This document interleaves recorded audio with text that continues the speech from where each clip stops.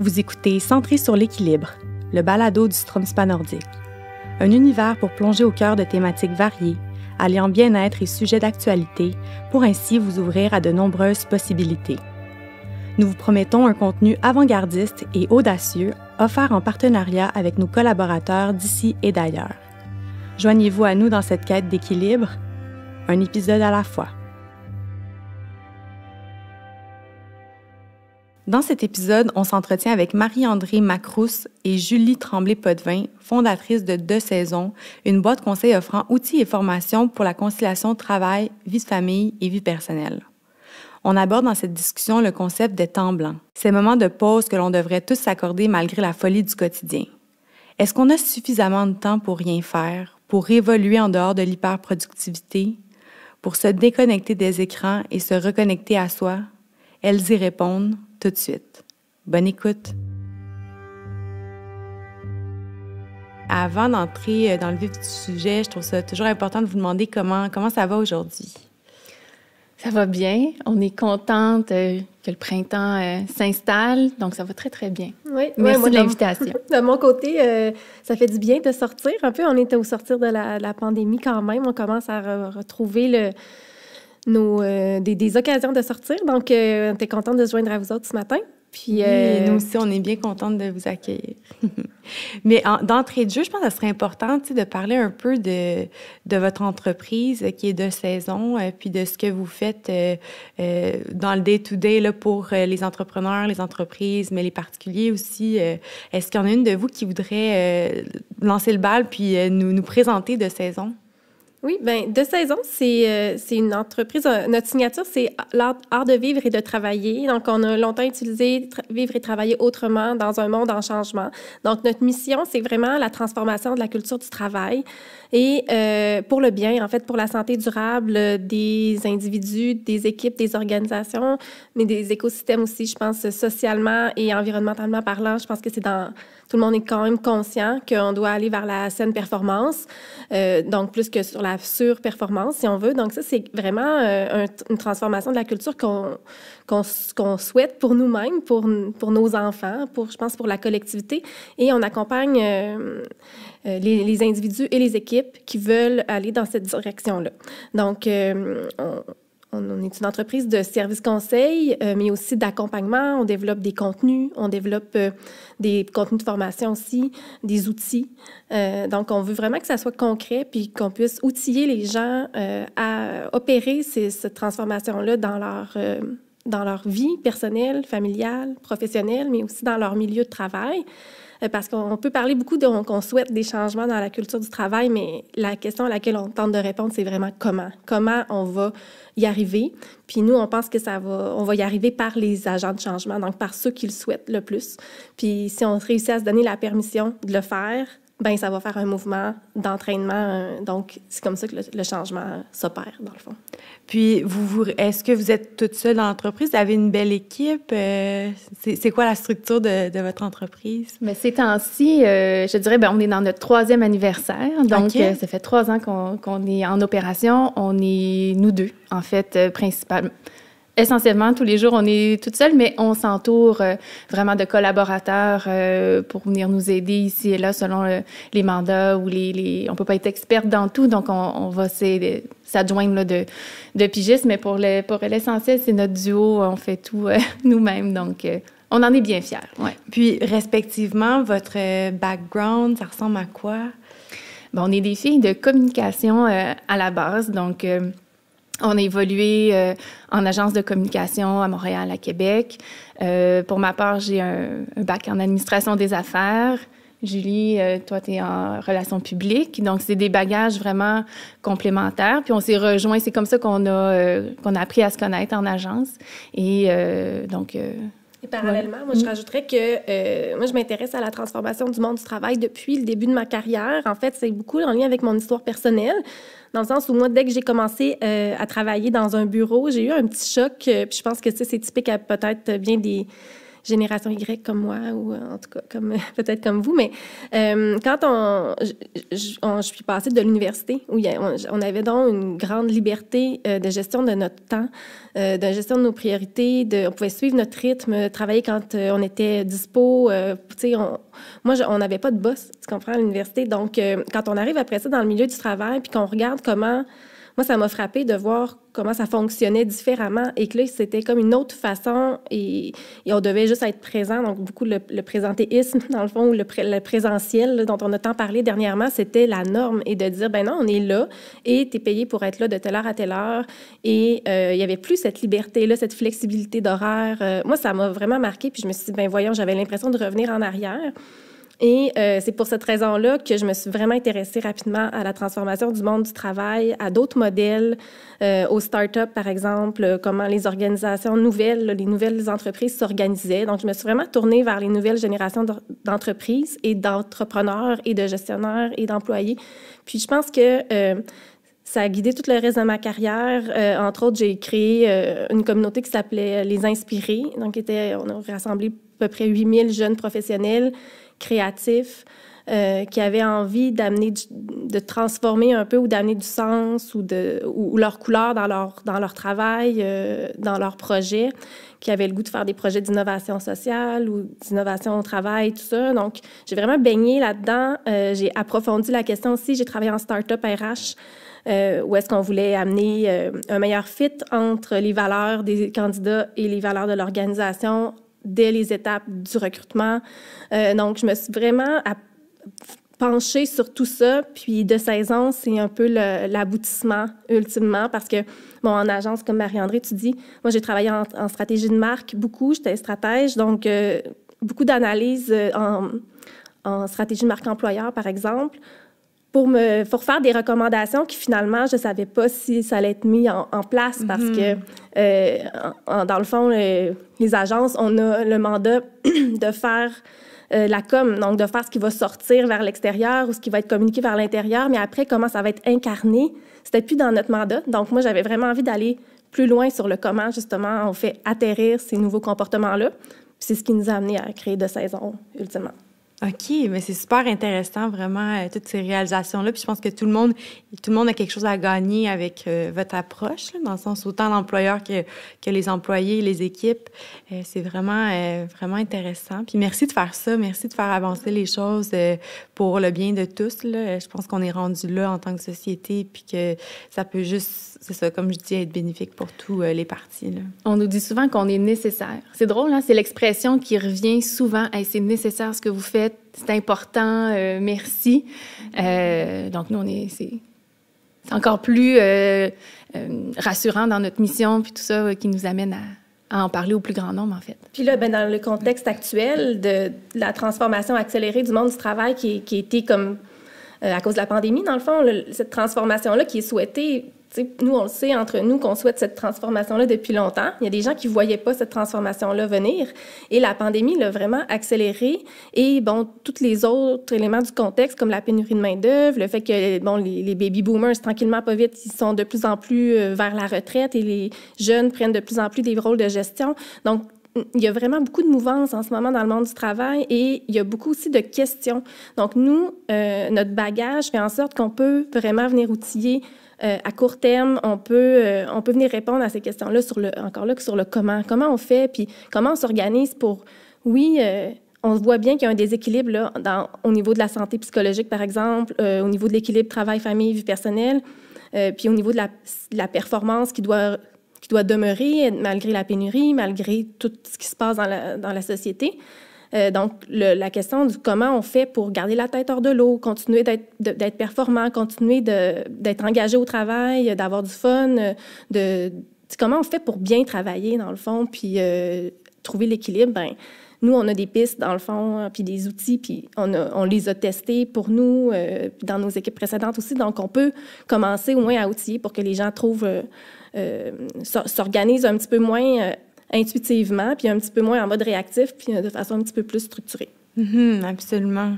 Puis, euh, vous avez euh, développé un, concept, ou en tout cas, je ne sais pas si, si c'est vous qui l'avez développé, mais il y a, ce, ce, mot que vous parlez dans notre article du magazine qui est le temps blanc. Donc, c'est de ça qu'on va parler dans cette entrevue principalement.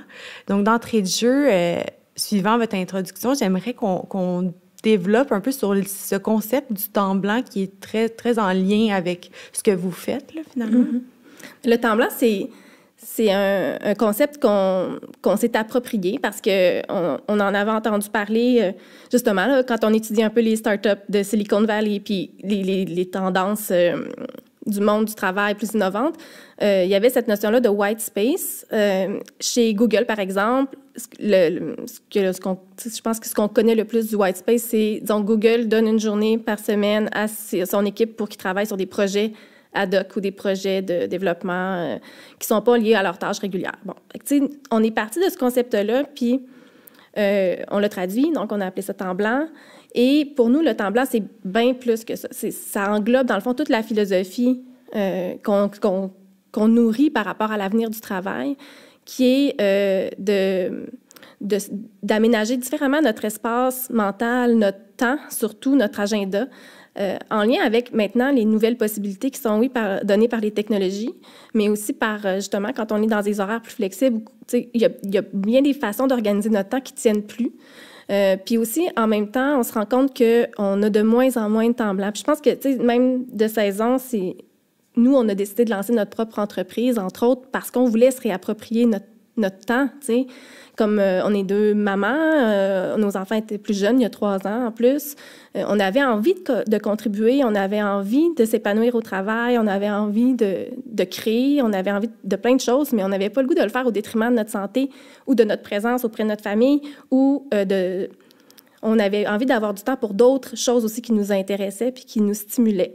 Donc ça, on n'est pas les seuls. Je pense que c'est un mouvement de société. Euh, puis je lisais justement dans un article ce matin que euh, ça s'explique aussi par l'éducation qu'on a reçue. Je fais juste une petite parenthèse, c'était vraiment intéressant. Il disait que les jeunes d'aujourd'hui, même les plus jeunes que nous, euh, dès la garderie, ensuite l'école, tout avait été aménagé pour que ça soit, on apprend, mais c'est plaisant en même temps. Puis quand on arrive dans le monde du travail, c'est on travaille, puis ça c'est pas supposé être plaisant, c'est juste du travail. Fait que c'est comme une autre mentalité d'une autre génération.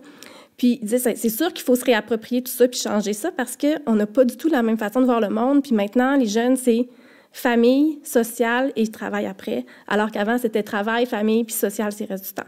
Donc, les valeurs changent. Puis euh, je pense que c'est nous, le, besoin de se réapproprier notre temps et d'aménager du temps blanc on l'a identifié euh, autant euh, pour notre santé puis notre équilibre, donc d'avoir du, temps blanc qu'on a de moins en moins parce qu'on est de plus en plus sollicité, on a de plus en plus d'objectifs, ça va de plus en plus vite. Et on a de plus en plus de sollicitations qui viennent de nos téléphones aussi. Tout le côté hyperconnectivité vient nous gruger du temps blanc. C'est ce que j'expliquais un peu dans l'article, c'est qu'on a de moins en moins de temps blanc. Tout est rempli. Et euh, on a ce besoin-là criant de, de réaménager un peu de temps blanc. Donc, c'est le concept global, je dirais que c'est, c'est ça. Puis c'est aussi le premier pas, dans le fond, quand on veut aller vers un meilleur équilibre. On dit toujours, ben le premier pas, c'est de prendre du temps blanc. prendre du recul, dans le fond, c'est ce que ça veut dire. Donc, un temps blanc, concrètement, c'est vraiment un moment où on on, fait pas grand-chose. On, on libère un peu notre, notre, esprit. Puis, est-ce que c'est ça, un temps blanc? Ça peut être ça. Euh, En fait, moi, je te dirais que le temps blanc, c'est vraiment pour moi à la base du temps de recul. Donc, du temps qu'on s'aménage, qu'on, à la base, on se libère du temps. Puis après ça, on se pose la question à quoi on va l'utiliser le temps blanc, tu sais, parce qu'il y a différents types de temps blanc. Puis ça, dans notre modèle, on est venu vraiment euh, éclater le temps blanc en différents types de temps, tant du temps qui est bon pour soi que du temps euh, qui va être bon pour le travail, par exemple. Mais c'est à l'ère où on est toujours en rencontre, puis toujours en production dans notre travail ou en opérationnel, on n'a plus beaucoup de temps euh, de réflexion stratégique. Tout le monde nous dit je manque de temps pour y réfléchir, j'ai pas le temps d'y penser, j'ai pas le temps de laisser mes pensées euh, vraiment, tu sais, comme aller au, j'ai pas le temps d'aller au fond de ma réflexion. Donc euh, quand on veut être stratégique, puis qu'on veut faire de l'innovation, puis qu'on sait que les entreprises en ont besoin, mais c'est d'autant plus criant de retrouver ce type de temps blanc aussi. Fait que c'est pas juste du temps où est-ce qu'on fait rien du tout, mais oui, ça peut être une... Dans le fond, le temps blanc, c'est le, temps qu'on se permet de prendre, ou est-ce qu'on n'est pas en mode faire ou en mode exécuter quelque chose qu'on doit faire, il faut que. Euh, donc, c'est un peu une permission qu'on peut se donner.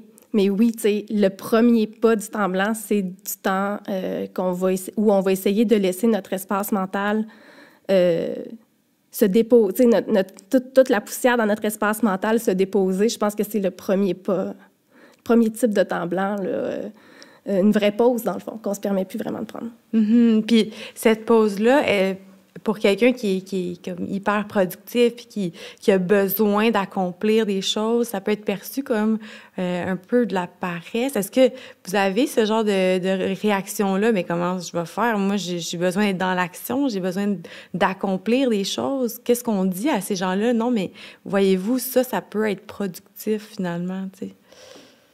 Absolument. Le temps blanc euh, peut avoir être contre-intuitif, euh, mais quand on se dit que notre cerveau c'est notre principal outil, euh, on a besoin de recharger. Donc c'est pas durable de se dire je travaille de manière constante et continue, jour après jour après jour, de saison en saison. C'est pas réaliste, c'est pas durable. Donc de s'accorder cette permission là, de prendre du recul, pour le plus productif d'entre nous, on peut se dire, ben c'est comme si je recharge mon téléphone. On se donne une permission de recharger, d'éteindre notre ordinateur une fois de temps en temps, mais faisons la même chose avec, avec notre principal outil de travail. Donc, de se donner du temps à long terme, c'est productif. Hmm. Puis, comme on disait, oui, c'est du temps où on n'est pas, on peut, ne, on pourrait ne pas être sur une tâche concrète, mais à l'inverse, on peut être en train de travailler de manière profonde ou de réfléchir sur quelque chose qui euh, va nous permettre d'avancer sur notre travail ou euh, de, s'accorder des moments où on se dit hey, j'ai plus d'énergie, je suis brûlée, au lieu de persévérer puis de se taper sur la tête puis de dire ben oh non je continue parce que euh, je continue je continue, ben, de prendre un moment d'arrêt, de sortir dehors, de prendre une marche. D'une part, hein, on le dit, les recherches disent que 20 minutes en nature diminue significativement notre niveau de stress, l'hormone, le cortisol. Donc, de prendre un moment d'arrêt peut faire en sorte que lorsque je retourne à la tâche, je retourne sur le dossier sur lequel je travaillais, euh, ben, je vais être autrement plus productif et avancé. Donc, euh, c'est il faut déconstruire ça, de se dire que si je prends une pause ou si je prends un moment d'arrêt pour détourner les yeux de mon écran, sortir dehors, regarder le temps qu'il fait, c'est une perte de temps, mais au contraire, c'est un investissement euh, à long terme pour notre santé. Parce que, comme je disais, on a juste un seul cerveau, puis notre corps en a besoin de bouger aussi. Euh, mm-hmm. Donc. Euh, puis on, a, on est dans un. une épidémie de burn-out. On entend beaucoup parler d'épidémie de burn-out. Là. Mm-hmm. Il faut comprendre que ce que tu viens de décrire, de dire mais je peux pas m'arrêter, moi j'aime ça travailler, moi il faut que, puis j'ai plein de choses à faire, puis voyons, on s'arrête pas, c'est de la paresse c'est des comportements, c'est des croyances qui sont apprises, qui sont culturelles. Donc, quand on parle de transformer la culture, c'est de ça qu'on parle aussi, là. parce que euh, en fait, les gens se donnent pas la permission, puis des fois, ils ressentent le besoin de s'arrêter ou d'avoir plus de temps libre ou plus de, temps blanc un meilleur équilibre, mais euh, ils se donnent pas la permission à cause que la pression est trop forte de l'extérieur, puis ils se disent qu'ils peuvent pas.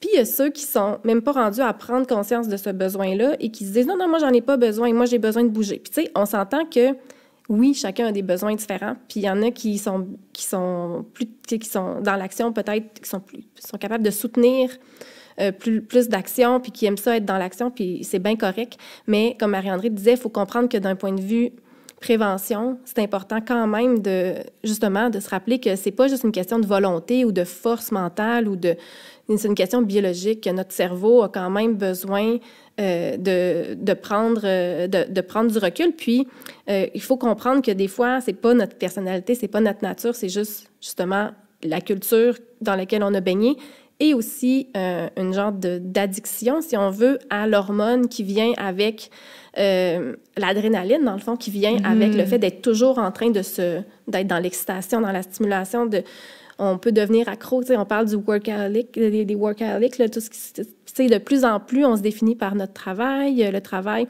C'est comme on veut un équilibre, mais en même temps, le travail prend beaucoup de place, le travail euh, déborde aussi des heures normales de bureau de plus en plus à cause de la flexibilité. Donc, si on n'est pas prudent en amont, puis qu'on n'adopte pas déjà des comportements, des réflexes qui vont nous permettre de recharger notre cerveau, mais on peut quand même se retrouver dans une situation d'épuisement, même si on, a, on pensait qu'on n'en avait pas besoin de s'arrêter. C'est qu'à un moment donné, mm-hmm. on n'a plus le choix de, de s'arrêter parce qu'il y en a qui sont surpris aussi de se rendre compte qu'ils qui frappent un mur à un moment donné. Oui, parce qu'ils épuisent leur réservoir d'énergie. Donc, tu as parlé de culture. Euh, on se demandait, à travers le monde, est-ce qu'il y, y, a différentes choses qui s'observent justement par rapport à ça? Est-ce qu'il y a des, lieux où le travail est super bien équilibré alors y a d'autres où euh, c'est sont vraiment dans la performance? Est-ce une question, par exemple, d'Occident de, de, versus Moyen-Orient? Y quelque chose qui s'observe? Je peux pas dire qu'on a fait une analyse approfondie de toutes les cultures du travail. Par contre, euh, c'est sûr qu'on sent partout la culture euh, nord-américaine ou, comme euh, la culture occidentale prend de plus en plus de place. Donc, la hustle culture, la culture de surperformance, gagne pas mal de monde, qui veulent compétitionner avec les, les, les, grands de ce monde. Et je pense que c'est un peu le danger de tomber là-dedans parce que quand on regarde historiquement dans d'autres... Euh, dans, quand on pense aux pays où qui font la sieste, disons, à tous les jours, mm-hmm. ben eux, ils, ça fait, ils se sont donné cette permission-là, puis ils, sont, ils comprennent que c'est nécessaire. Ils sont pas dans un mode de, devenir des machines comme humains. Là, mm-hmm. Bon, c'est très culturel. Euh, je pensais aussi dernièrement, euh, tu sais, il y a des pays comme la France où les vacances, presque tout le monde a ses vacances en même temps euh, l'été, puis tout le monde s'arrête, puis le message est clair, c'est les vacances, on en a besoin. Tandis que ici, par exemple, on est plus sur un mode, chacun prend ses vacances un peu n'importe quand, ce qui fait que la machine n'arrête jamais. Fait que, tu sais, l'idée d'être dans le le, capitalisme, là, c'est quand même, c'est quand même mondial, on s'entend, mais quand on regarde les cultures, où est-ce qu'ils ont des, des, des, traditions ou des habitudes qui sont là depuis longtemps, c'est là qu'on voit que ben de plus en plus, là, on s'en va vers une, euh, on s'en va vers une surperformance, puis quand on regarde historiquement, ben ça n'a pas toujours été comme ça. Donc, c'est pas obligé d'être comme ça non plus. Mm-hmm. Euh, de dire on veut devenir des, des machines, on s'entend, là, qu'on sait que ça vient du modèle euh, de, de, l'industrialisation, tout ça. On est conscient de plus en plus que les humains, euh, on n'est pas des machines, mais on essaie encore de l'être. Donc, tu sais, c'est très culturel, oui. puis, je pense qu'il y a des bonnes pratiques dont on peut s'inspirer, qui sont d'ailleurs, justement, là. Euh, pour euh, envoyer un, message clair, mais je pense pas qu'on soit rendu là encore. Euh, une autre tendance qu'on voit, c'est le droit à la déconnexion. Là. Je pense que ça, c'est une... Mm-hmm. L'hyperconnectivité, c'est quand même aussi un enjeu de plus en plus universel. Et on voit un peu partout là, des, le sujet est discuté. Je sais pas, c'est pas partout qu'ils ont des lois puis des sanctions. C'est encore vraiment très, très, très rare. Souvent, ils vont reconnaître le droit, mais ils vont pas nécessairement mettre de, de sanctions. Mais il y a ce désir-là de, de répondre, dans le fond, à notre contexte actuel qui est quand même récent de l'hyperconnectivité, puis de dire, OK, euh, ça cause des enjeux. Donc, euh, un peu partout, on est un peu victime de la surperformance, mais en même temps, euh, on est conscient qu'il faut pas trop, qu'il faut faire attention. Donc, je pense que même la semaine de quatre jours, on entend beaucoup parler de la tendance des semaines de quatre jours, des entreprises qui l'ont essayé, des pays où est-ce qu'ils veulent essayer justement de passer des projets de loi euh, donc, très localement, il y a des initiatives, mais quand on regarde globalement, ça se ressemble. En tout cas, je trouve qu'en ce moment, la culture, elle, se ressemble. Donc, tout le monde réagit un peu aux mêmes enjeux. Mais quand on regarde historiquement, moi, je pense qu'on peut aller s'inspirer de ce qui se fait depuis longtemps en France, puis les, longues vacances, tout le monde en même temps, par exemple, qui donne un grand temps d'arrêt ou, justement les pauses dans la journée qui sont normalisées. Je pense que ça, ça, ça, a des racines plus profondes encore, puis peut-être plus euh, collées à la nature humaine. Mm-hmm. oui, tout à fait. C'est super intéressant. C'est vrai que dans certains pays, le rythme est beaucoup plus lent. on parle des pays, les pays chauds, finalement. La chaleur fait en sorte que on, se déplace plus lentement, le service est plus lent, tout ça, on l'observe. Mais finalement, qu'est-ce qui est, qu'est-ce qui mieux? C'est pas nécessairement la surproductivité. Il y a quelque chose de bien aussi dans cette lenteur-là, puis d'apprendre à être patient. Puis, on, on, a comme une rééducation à faire, je pense, euh, de manière générale. Mm. Oui, puis en fait, ce que tu nommes, c'est intéressant, c'est la reconnexion à, la nature aussi. Tu sais, dans Deux saisons, nous, notre nom, c'est Deux saisons parce qu'on croit aussi à, ce retour à la nature humaine et la nature qui nous, qui nous entoure dans le sens où, euh, dans la culture de surperformance, puis dans la culture du capitalisme et tout ça, euh, traditionnel, euh, on est déconnecté complètement de la nature. C'est comme... Euh, donc, de dire, OK, oui, il fait chaud, il fait froid, la lumière, de, de, de, suivre un rythme qui est plus un biorhythme. Je trouve que c'est une des clés, parce que, puis de reconnecter à son propre biorhythme, parce que de s'imposer un rythme. Puis, tu nous demandais qu'est-ce qu'on entend le plus, mais moi, j'ai entendu des gens qui nous disaient Je ne sais pas si mon rythme de travail, c'est le mien ou si je l'ai appris. Hmm. Tu sais, les gens sont assez déconnectés là, de leur vraie nature parce qu'on a été un peu euh, cadrés, là, embarqués dans, dans, un certain moule. Donc, les... c'est pas tout le monde qui instinctivement connaît son rythme. Tu sais, euh, il y, a, une, introspection à faire par rapport à ça. Puis, euh, euh, tu nous demandais tantôt si les gens nous disent Mais moi, j'ai pas besoin de temps blanc. C'est le contraire qu'on entend le plus souvent. Là. Ce qu'on entend le plus, c'est J'en ai besoin, mais j'ai de la misère à arrêter, mais il faut que, puis à le prendre. J'ai de la misère à me donner la permission. Puis je pense que, je pense que ça, c'est beaucoup plus répandu que, que j'ai pas besoin de prendre de pause. Mm-hmm. Tout à fait. Il y a peut-être un sentiment de culpabilité à le faire parce qu'on n'a pas appris à, faire cela. oui, puis quand on est tout seul de sa gang, à dire, ben moi j'ai besoin de prendre une pause, quand la discussion n'est pas mise au cœur de l'équipe, ben ça peut avoir l'air un peu euh, intimidant, puis euh, de, de, de, se dire, ah, je me sens coupable. Mais quand la discussion est abordée en équipe, quand tout le monde se parle de ces choses-là, ben là, les, les, les, les yeux s'illuminent, puis c'est comme, ah ouais, hein, c'est intéressant, on pourrait faire ça, nous autres aussi, là, on aurait accès à ça. C'est juste de, prendre le premier pas, de dire, OK, mais on va organiser nos journées, on va organiser nos semaines. Toi, comment ça se passe chez toi? Ah chez nous, c'est le même. Puis quand on a une vraie discussion, puis nous, on est souvent appelés pour venir allumer la première discussion, venir encadrer ces, ces, ces permissions-là, puis de donner un peu quasiment un, euh, euh, papier de permission, comme euh, on pourrait avoir à l'école ou du médecin, dire ben vas-y, tu peux prendre du temps, puis faites-le ensemble, puis vous allez voir, puis ça reste. Et c'est quand on est plusieurs à le faire, puis à le mettre en place, que là, ça enlève le, sentiment de culpabilité. Puis comme on le répète souvent, puis on l'a dit tantôt, Julie l'a dit, la culture, c'est ce que tu fais tous les jours. Donc, si en équipe, on se dit, ben nous autres, on en prend des pauses de temps blanc euh, dans nos rencontres, euh, entre les rencontres surtout, euh, le midi, etc. Donc, c'est mm-hmm. c'est là où ça vient riche, puis, réaliste. Puis, tu sais, tu parles de permission, Marie-André.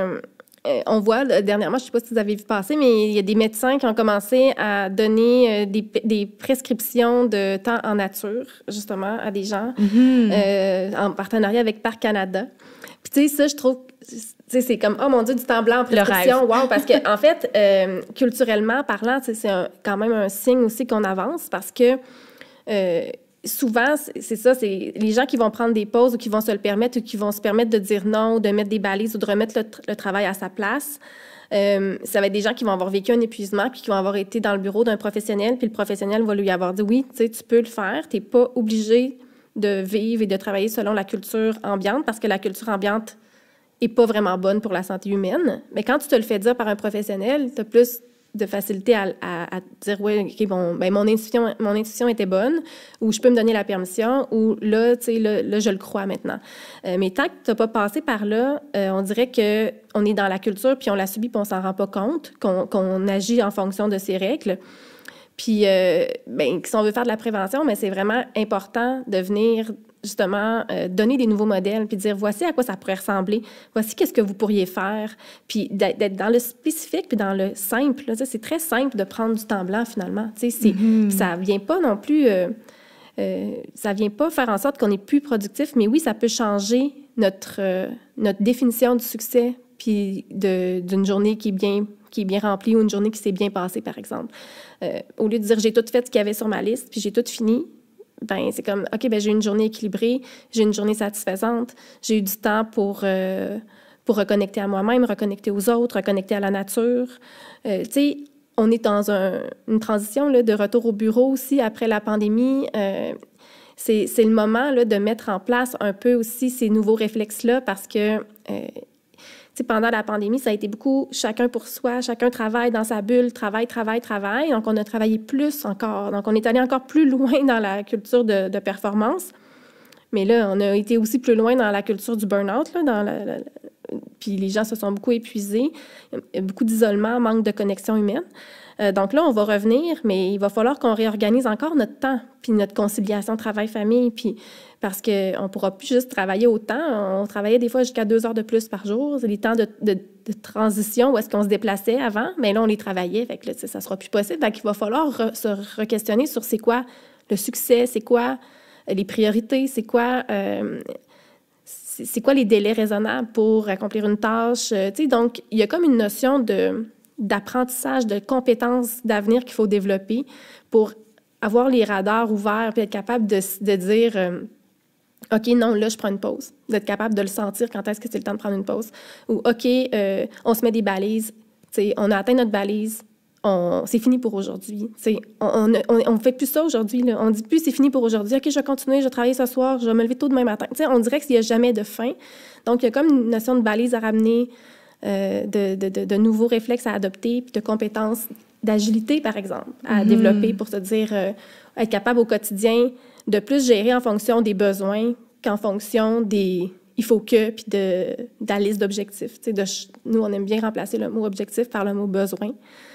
Des fois, on le fait, là, mais on le, je suis pas sûre qu'on le fait de façon vraiment profonde et intentionnelle de dire, OK, c'est quoi le vrai besoin? C'est quoi mon vrai besoin au travail? C'est quoi qui est, le, qui est le plus prioritaire? Qu'est-ce qui doit absolument être fait aujourd'hui? Qu'est-ce qui serait nice to have, mais puis comment je peux équilibrer ma journée? Donc, il y a comme une notion de leadership personnel à développer parce que, ultimement, euh, dans le mode euh, où est-ce qu'on est un peu plus hybride, ben, on est chacun un peu maître de notre horaire. S'il y a plus de flexibilité, ça veut dire que ça vient avec plus de leadership et de responsabilité pour chacun. Donc, si on développe les bons réflexes individuellement, on va être capable de naviguer dans la culture d'une façon respectueuse de nos besoins puis plus équilibrée.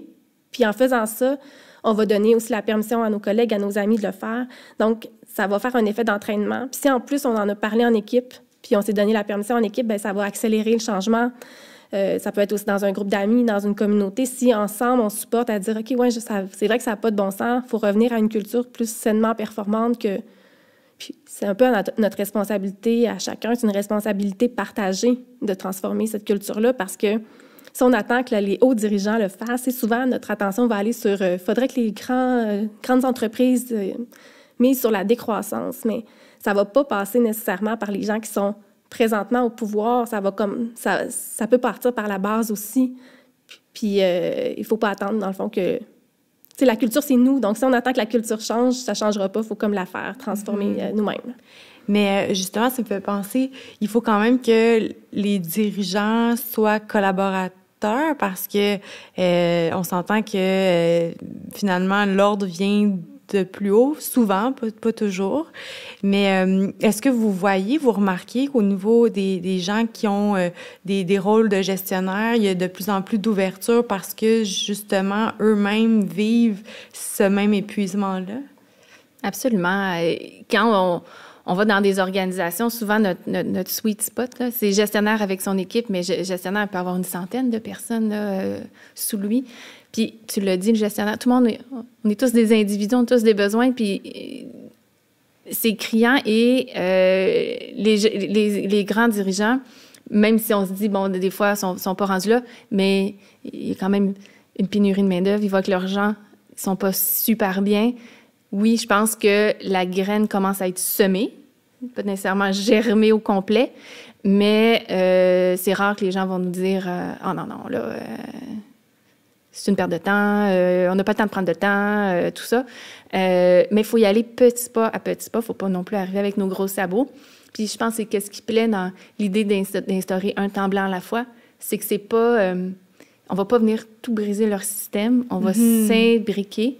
Euh, puis les gestionnaires en ont besoin aussi pour eux, pour leurs équipes. Les gestionnaires sont ceux qui vont venir prendre soin de leurs équipes. Ils sont un peu, des fois, pressurisés par euh, euh, la, structure ou les objectifs, tout ça.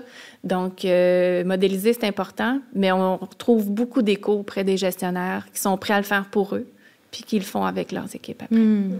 Parce que j'imagine qu'il peut y avoir une certaine crainte de perte de contrôle ou, il y a cette idée de peut-être euh, que les gens vont abuser euh, des pauses, puis mais c'est pas du tout ce qu'on observe, j'imagine. Il y a quand même une responsabilité, la personne se responsabilise puis dit, moi, j'ai besoin de ça, mais je prendrai pas euh, tout est plus que ça, je vais prendre ce qui est nécessaire. Suite à, la pandémie, la gestion de l'équipe, la gestion de la santé mentale de l'équipe est beaucoup imputée au gestionnaire.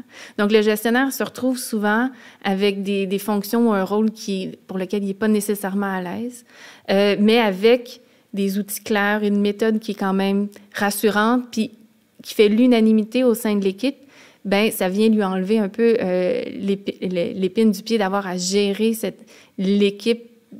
Sait pas nécessairement par quel bout le prendre. Euh, donc, ça fait en sorte que euh, ça reste quand même réaliste et, facile. Dans un monde où les RH voient pas beaucoup les employés, ben qui est en contact avec les employés? C'est le gestionnaire. Donc, ils disent aux gestionnaires, assurez-vous de la santé psychologique de vos équipes. Mais là, comment je m'assure de la santé, de la santé, psychologique de mes équipes si ça veut dire qu'il faut que je passe une heure au téléphone avec eux chaque jour? Parce que là, si je veux être en lien avec eux, savoir comment ils vont, puis comme Marie-André, tu l'expliquais, les gens sont pas nécessairement à l'aise là-dedans, puis ils ont du travail à faire. Donc, euh, d'avoir une méthode, justement, ou d'avoir outillé les gens pour qu'eux-mêmes se, se responsabilisent et qu'ensemble, ils se supportent, ben justement, on vient partager la responsabilité. Donc, on n'est plus dans un mode euh, rajouter des briques sur les épaules du gestionnaire parce que des études qui nous disaient que 80 à 85 des gestionnaires finissent leur journée complètement épuisés puis qui n'ont plus d'énergie pour autre chose. Puis ces gens-là, ils ont des familles, ils ont des maisons, ils ont, des, ils ont, ils ont, ils ont une vie, là, ils ont d'autres rôles aussi que leur rôle de gestionnaire. Donc, euh, je pense que c'est encore peut-être plus criant chez les gestionnaires, le besoin d'équilibre. Euh, mais en même temps, euh, eux, ils ont à gérer les priorités, puis qu'est-ce qu'on fait, qu'est-ce qu'on... Donc, ils ont, ils ont, aussi besoin d'une permission de, de faire une, saine gestion des priorités, puis de miser sur la saine performance versus sur la surperformance, puis être capable de dire, OK, mais ça, ça va attendre, ça, c'est prioritaire, puis de dire, bien, en fonction du contexte, on a pu aller jusque-là, puis d'être un petit peu plus euh, assumé dans leur approche de saine performance.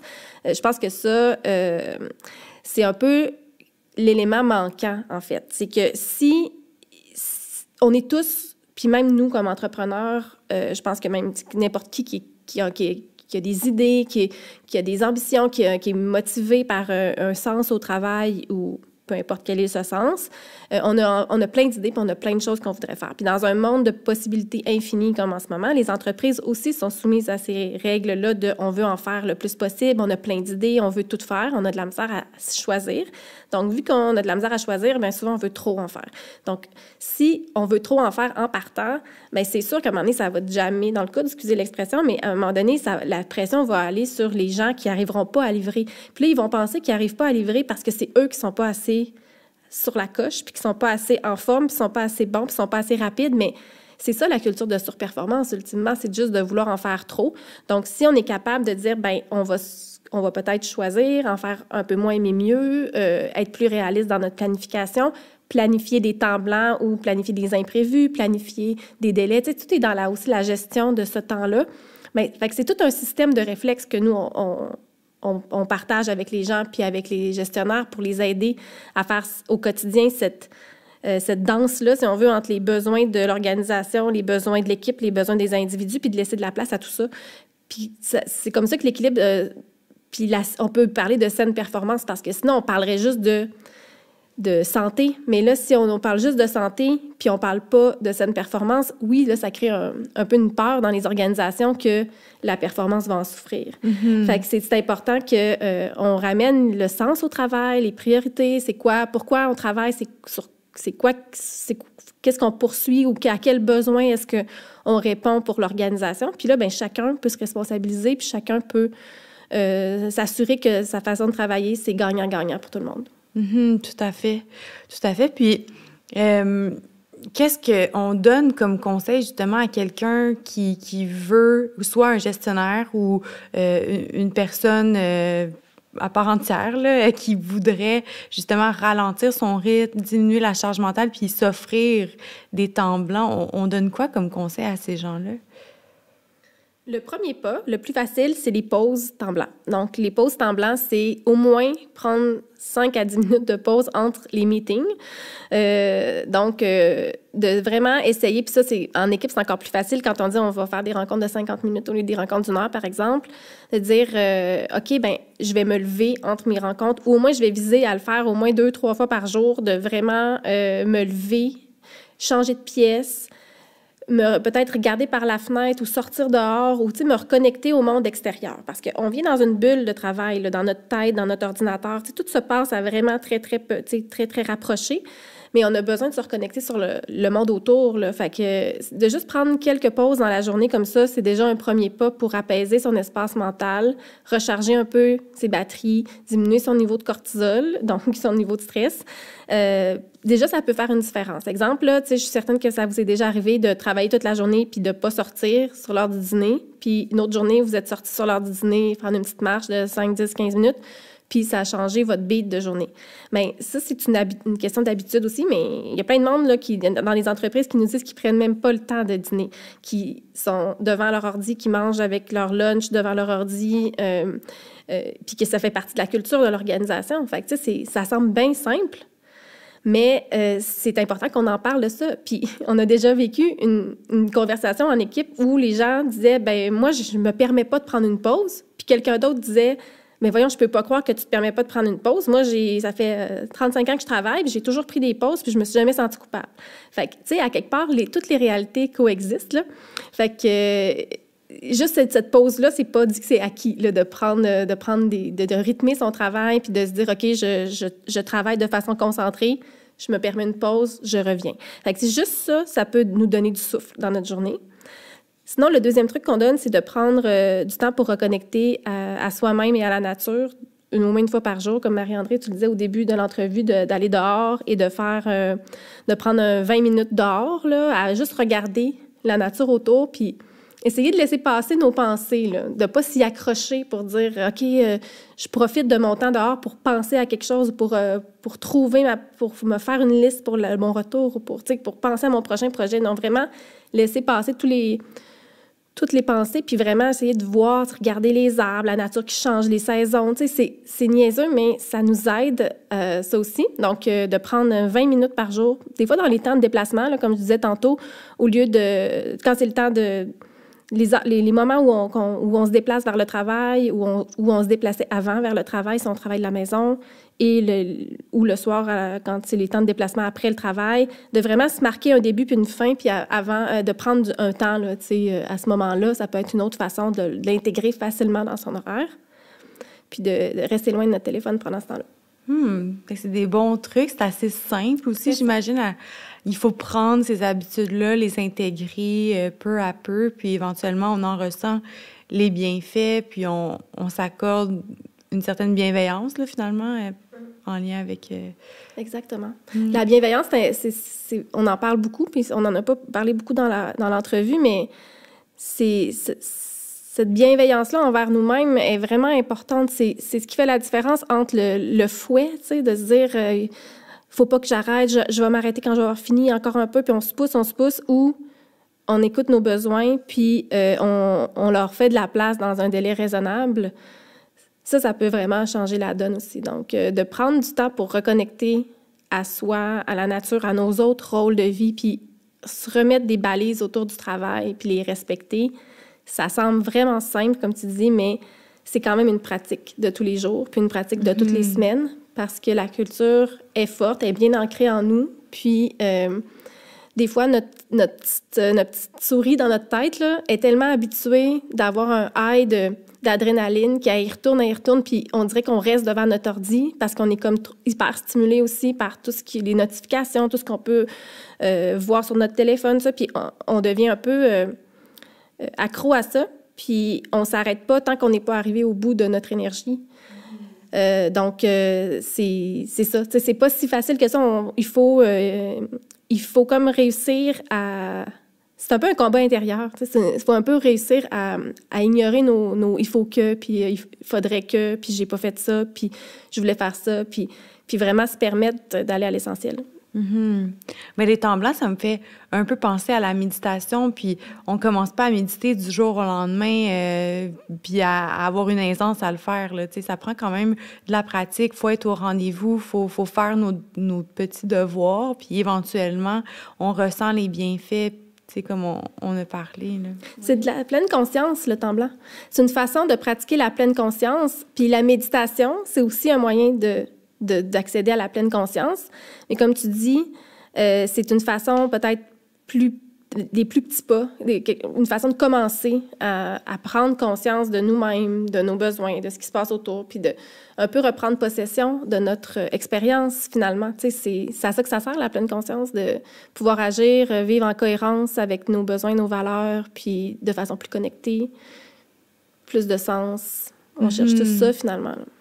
Mais en tout cas, on souhaite ça au plus de gens possible, au plus d'équipes puis d'entreprises. Puis ça, ça va être beau d'observer justement les, les, les impacts de, de ces choix-là que les gens vont faire, euh, ben, qui font déjà, puis qui vont continuer de faire à l'avenir avec votre collaboration. Euh, euh, Est-ce qu'il y avait quelque chose en terminant que vous aviez envie de partager par rapport à ce qu'on a échangé durant l'entrevue? Ben, je pense que la seule chose que je, qui me venait, en tête par rapport à ce que tu viens de dire, c'est que ce qu'on souhaite aux gens, c'est oui de, de, de, se donner la permission dans les euh, personnellement puis dans les équipes puis avec cette pleine conscience là qui va prendre place puis ces conversations là qui vont prendre place je pense qu'on va aussi en venir à insuffler euh, plus de sens dans nos organisations puis même avoir essayer d'avoir euh, des missions d'entreprise puis des, impacts organisationnels qui sont même bienveillants au niveau des organisations. Donc, euh, quand on parle de développement durable, quand on parle d'impact sur les collectivités, d'implication sociale, de responsabilité sociale d'entreprise et responsabilité environnementale aussi, je pense que c'est un peu la, la porte d'entrée. C'est que si on commence à ouvrir la, la porte individuellement, puis on est plus nombreux, puis qu'on est plus conscient, puis on est plus connecté à l'autre, puis à la nature, puis à nous-mêmes, ben, naturellement, tous les systèmes vont, en être influencés. Puis je pense qu'on est vraiment rendu là. notre société, on, est rendu là. Euh, c'est une période qui nous permet peut-être de grandes transformations qui va peut-être nous permettre justement d'avancer plus, puis de tout le monde euh, rétablir l'équilibre, mais pas juste à petite échelle, à grande échelle aussi. Mm-hmm. ah, c'est beau ça. Ben, en tout cas, je vous remercie euh, sincèrement d'avoir accepté notre invitation. Cet épisode, je pense, va être bien accueilli, là, très nécessaire aussi. Euh, donc, euh, au plaisir euh, de continuer à, à, vous voir œuvrer là, dans votre domaine dans lequel vous excellez. Merci infiniment pour l'invitation. Merci beaucoup. Avec plaisir. C'est ce qui conclut l'épisode d'aujourd'hui. On espère que vous avez apprécié la discussion. Si le contenu vous a plu, on vous invite à partager l'épisode et à laisser un avis sur la plateforme de votre choix. Vous pouvez également nous suivre sur nos réseaux sociaux et sur notre site internet au stromspa.com. En vous abonnant à notre infolette, soyez certain de ne rien manquer. Merci pour votre précieuse écoute et au plaisir de vous retrouver lors du prochain épisode. À bientôt!